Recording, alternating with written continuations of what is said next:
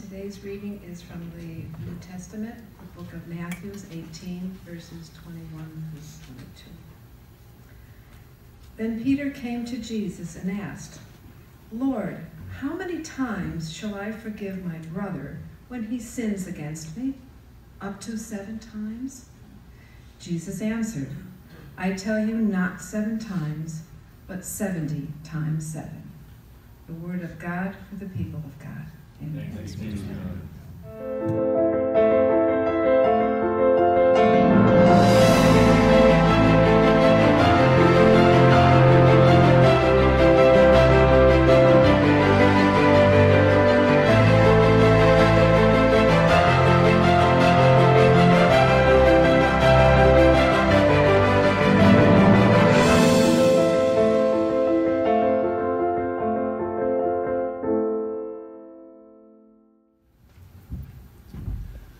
pray with me? Lord, open our ears and our hearts. Let us hear what we need to hear and show us what we need to do to become more faithful disciples of our Lord and Savior Jesus Christ. In his name we pray. Amen. We're in the last week of our sermon series based on the book and the movie The Shack. Uh, a number of us went to see it when it uh, first came out. Uh, and hopefully, if you didn't go then, you've had a chance to go see the movie or read the book. Uh, several of you have told me that you've recently reread it. Uh, it's a great work of fiction uh, written by a father for his children primarily. Um, and then, at uh, the urging of his friends and family, he published it, and the rest, as they say, is history. The synopsis is the main character, Mac, uh, and his family experience a profound tragedy uh, as they experience the loss of a child through abduction. Uh, and uh, it turns out that it is a um, predator uh, there in the mountainous area in which they are camping that has abducted several young children. And that leads us to our video clip that we're going to see here in just a moment. Uh, but in the midst of this tragedy, uh, Mac uh, grows very distant from God. He's never been very close to God in his life because of abuse he suffered as a child. And uh, he receives a note in his mailbox that uh, where Papa, as his wife uh, refers to God, uh, invites him back to the shack uh, where the last evidence and traces of his daughter uh, were found in the woods. and so he goes there and he experiences God and the Trinity. Uh, Papa, uh, who is at first portrayed by an African American woman, uh, Jesus, and the Holy Spirit as well.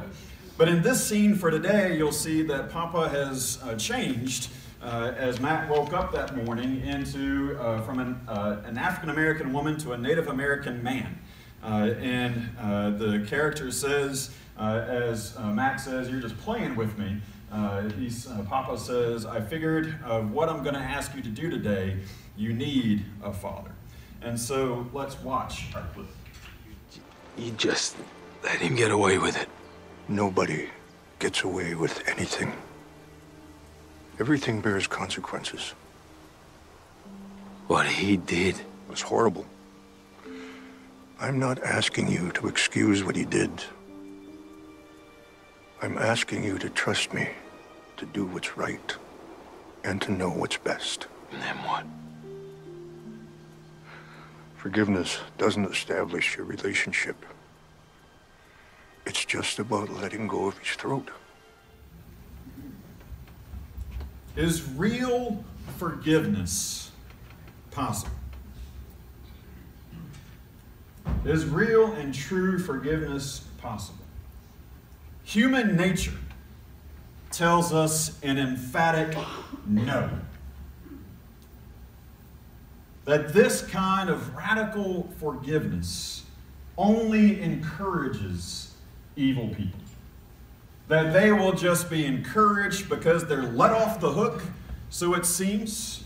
They just get away with it, so it seems. That they'll go out and do the same evil acts again. At a minimum, our human nature tells us we have to protect ourselves. We have to protect our families and our loved ones. We think that's done best by holding on to the grudges and holding on to the list of offenses of what they did to us. And at a maximum, we demand absolute justice. We want them to hurt, Mac says in the scene. Uh, we don't see that part of the scene, but Mac says, I want him to hurt like I hurt. But Mac's toughest challenge is to forgive the killer. And he asks the question that we wrestle with today. So, you just let him get away with it? We want justice. We want accountability. We want to see the good guy beat the bad guy into submission, into oblivion, and at least throw him in jail to rot forever, like any good, true superhero movie. There's nothing wrong with wanting these things. But part of the myth of forgiveness is that when we forgive, there are no consequences. That is false. Even though we forgive others as they forgive us, there might indeed still be consequences for our sins against one another and against God. If a relationship is broken due to the actions of one party or another or both, some people have this idea of forgiveness is that we, we ignore those offenses and we just kind of sweep them under the rug and hide them behind a chair and we act like those things never happened and we just press forward. And if you've ever tried doing that, you know, in the words of Dr. Phil, how's that working for you? Not very well at all. Trust must be restored. Sometimes it isn't. And we just simply move on. But it's forgiveness that enables us truly to move on. Whose responsibility then is it to dole out the consequences? You know, it, it, I, I might forgive, but I sure still want to keep up that silent treatment that I give that person. I might want to forgive, but I sure want to keep up those nasty looks that I give that person. I don't want to give those up. Whose responsibility is it to dole out the consequences? Whose responsibility is justice? Whose responsibility is it to make them pay if they don't just get away with it? If you remember last week's scene from the movie, Mac found himself in a cave with wisdom personified, and, and she had him sit in God's judgment seat. And in that scene in the movie, again, we didn't see it in our clip last week, but in that scene in the movie, Mac finally says, Wait, I don't want to sit here anymore. Eh, I, I realize this chair is not for me. But in this scene with Native American Papa in the movie, eh, eh, and Mac is saying, I want him to pay, and Papa says, Oh, are we back to you sitting in the judgment seat again? Is that where we want to sit again? Is that where we want to judge those even who are closest to us? Because if we judge them over there, we've also got to be willing to judge them right here. And not only that, but we've got to be willing to apply that same measure of judgment to ourselves as well. Romans 12 says, Vengeance is mine, I will repay, says the Lord. It's not our job to do that. When we have been wronged, we face a choice. We can demand justice, holding on to our blame and demanding punishment and restitution for the sin or the injury. Or we can choose mercy and the path to forgiveness. The reality is that whichever we choose is what will always come back to us. Jesus said it this way Forgive, and you will be forgiven. Give, and it will be given to you. A good measure, pressed down, shaken together, and running over, will be poured into your lap. For with the measure you use, it will be measured to you. How does that work? It's basically another way of saying the golden rule that whatever we do to others is the way we would expect them to do to us. It's a matter of reaping what we sow. And so, the reality, though, is that all of us are deserving of judgment. All of us, Romans says, has sinned and found short of God's glory. All of us are found wanting in the scales of God's justice. But God, as always, tipping the scales in our favor. He's still just because everyone will still be judged, everyone will still be weighed. But instead of being judged merely by our actions, we are judged through the lens of forgiveness in Jesus Christ. You see, God doesn't simply ignore evil and ignore sin, God dealt with it by letting Jesus Christ pay the ultimate price with his life for our sins and for our trespasses. He did it because God is love. And here's the thing if all of us are going to be judged equally, along with all of them out there in the world, even those who don't go to church or go to a different church or practice another religion or look different from us or smell different from us or talk different from us, all of us are going to be judged equally. But there's another side of that coin. Because all of us are loved equally as well. Unconditionally. Second Peter says that God is not slow in keeping his promises. Some people say, why hasn't Jesus just returned yet already? Amen to that. But it's because God is patient, not wanting anyone to perish, but for everyone everyone, everyone to come to repentance.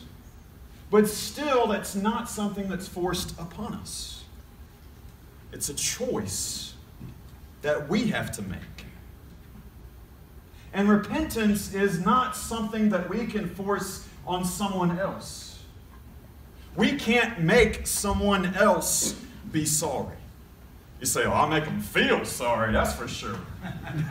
Even then, we can't make anyone else feel anything. We can't make anyone else do anything. The only person that you can change is yourself. So, holding on to our offenses, holding on to those grudges, holding on to the hurt and the pain that they have done to us is nothing more than drinking poison and hoping that it's them who's going to be affected when we're the ones that drink the poison. And then we wonder what's wrong. While we neglect to heed the words of the great physician. In Matthew 18, our gospel reading for this morning, Peter asks Jesus. Peter gets forgiveness at this point. He's heard Jesus' teaching in the Sermon on the Mount. He's seen how Jesus acts and how he lives, and he gets it. He says, Jesus, how many times must I forgive? Seven times? The rabbinical teaching of the day by the, by the rabbis of the day said three times was good enough. And then after that, you didn't have to forgive anymore. You already given three strikes and you're out. See, even then, they knew about baseball. Uh, it, it, might be God's sport. I don't know. Who knows? But uh, three strikes and you're out, they said. And, and that was good enough. Peter goes beyond that. He says, All right, how many times must I forgive? Is seven times good enough? And he wasn't trying to limit forgiveness because he would have known of the, that that's a biblical number, symbolizing perfection, completion. And so Peter's saying, is perfect forgiveness expected of me? Jesus could have simply answered, Yeah, Peter, you got it for once. Good job. But instead, Jesus takes it, as he usually does, a step further. He calls for even more perfection.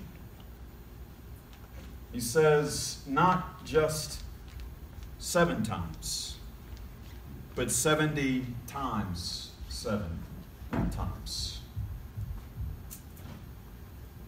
Limitless, infinite, countlessly repeated forgiveness of just the same person. Pastor Kenny pointed out this morning in his sermon that, that a really great point. It's not, you know, okay, I forgive you once and forgive you once and forgive you once. No.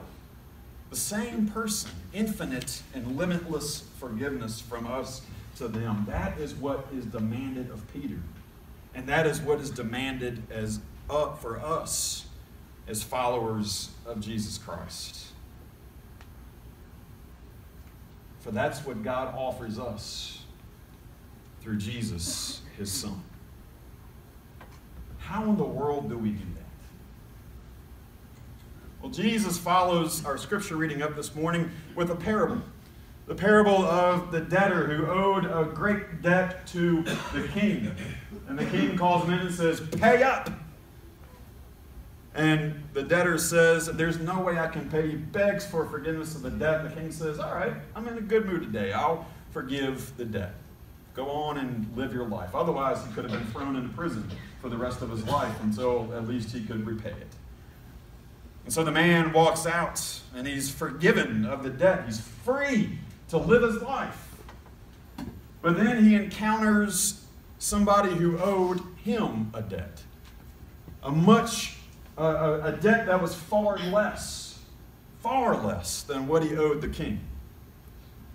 And he grabs the man by the throat and he says, Pay up what you owe me right now. I'm going to throw you into prison. This happens not just once, but twice. The king finds out about it.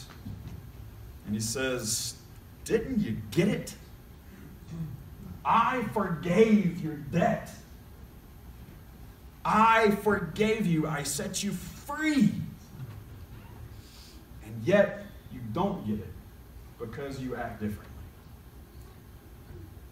Friends, the great King of Kings, the Lord of all, has set us free has forgiven our sins in Jesus Christ when we believe in Him. And the only way we can truly forgive others is by grasping that. Not just saying, oh, yeah, right, sure, we're forgiven. Good, all right, yeah. We'll sing about it and so forth. But to let it sink from here to here. Because then we'll get it. We'll believe it. And we'll act like it. It's why we pray every week in the Lord's Prayer. Forgive us our sins as we forgive those who sin or trespass or have debts against us. In 1994, the country of Rwanda experienced a horrible genocide in which almost a million people were killed by their own neighbors simply because they belonged to different tribes. How do you go on from something like that? How does a nation begin to heal?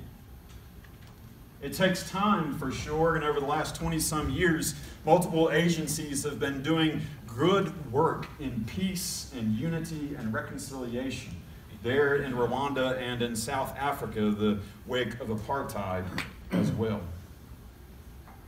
There are many stories of forgiveness within the works of these agencies, but one in particular was reported by the New York Times. There was a woman named Evasta, and she was attacked by a neighbor, a man named Godefroy, who was trying to kill her and her children. And he says, But I knew that God was protecting her because I couldn't do it.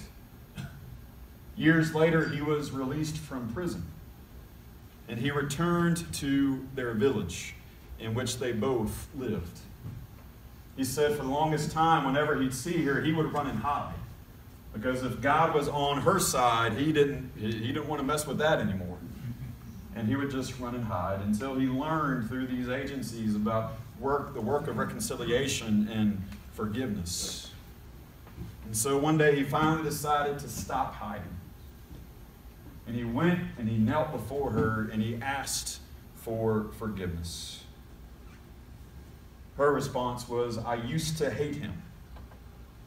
When he came to my house and knelt down before me and asked for forgiveness, I was moved by his sincerity. Now, if I cry for help, he comes running. He comes to my rescue. When I face any issue, I call him. In the movie, Papa tells Mac, I'm not asking you to excuse what he did. I'm asking you to trust. To trust me to do what's right and to know what's best. Isn't that what it comes down for us too? Can we trust that God knows what's best and truly forgive? Can we trust that He will do what's right? That His ways are higher than our ways, His thoughts are higher than our thoughts? Will we believe that He alone is the righteous judge that He says He is? Can we believe that His love is enough for us? That His grace is sufficient for us, even in our deepest weakness?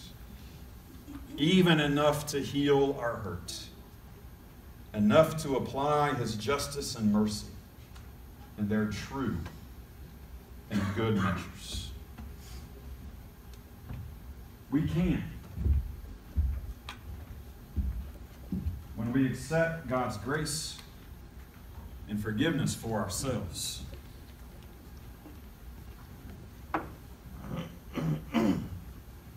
And one of his chief signs of grace, two of them, are the sacrament of baptism as he cleanses us from our sin and claims us as his children. And of Holy Communion, that as he gathered with his disciples in the upper room, he took bread, he broke it, and he gave it to them, saying, Take and eat. This is my body, which is given for you. Do this as often as you eat it in remembrance of me. And when the supper was over, he took the cup. He gave thanks to God, he gave it to his disciples, and he said, Drink from this, all of you. This is my blood of the new covenant, poured out for you and for many. For what? Forgiveness of sins. For forgiveness of sin. And he said, Do this as often as you drink it in remembrance of me. Do what? and in remembrance. It's not remembrance as in, oh yeah, we remember what Jesus did 2,000 years ago, and yeah, that was nice. And okay, yeah, I'll get a little snack this morning in the church. I hope he gives me a big piece of that Hawaiian bread. I just love that sweet Hawaiian bread. Yes, I know you do, okay? But anyway, it's, it's not about that. The Greek word in remembering is to remember to read, the better word for us would be to reenact. to redo. That every time we come and receive of the sacrament, we remember that we are forgiven. And we reenact that forgiveness as we extend that forgiveness to one another. For indeed we pray, forgive us our sins as we forgive those who trespass against us. Let us pray as we give thanks over this meal, and we will conclude with that prayer. It's on the screen. If you need to look up, that's okay. You can pray with your eyes open and read. That's all right too. Let us pray. God, you have created us in your image. You have breathed into us the breath of life.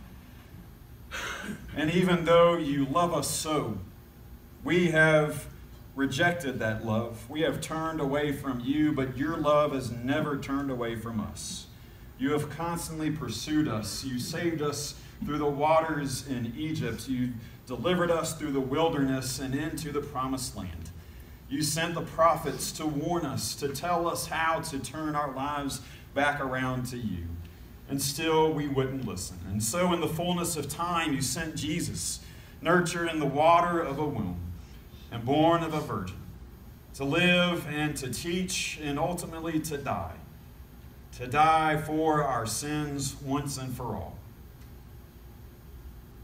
Pour out your Holy Spirit upon these gifts of bread and juice. Make them be for us his body, that we may be for the world the body of Christ, redeemed by his blood. Help us to live as we journey towards the cross and to resurrection, to live into resurrection power that is still ours even today. Cleanse us from our sin. Forgive us, Lord, so that we might forgive others. For it's in Jesus' name that we pray. As he taught us to pray, say, Our Father, who is in heaven, holy is your name. Thy kingdom come, thy will be done, on earth as it is in heaven. Give us this day our daily bread, and forgive us our trespasses, as we forgive those who trespass against us. And lead us not into temptation, but deliver us from evil. For thine is the kingdom, and the power, and the glory forever.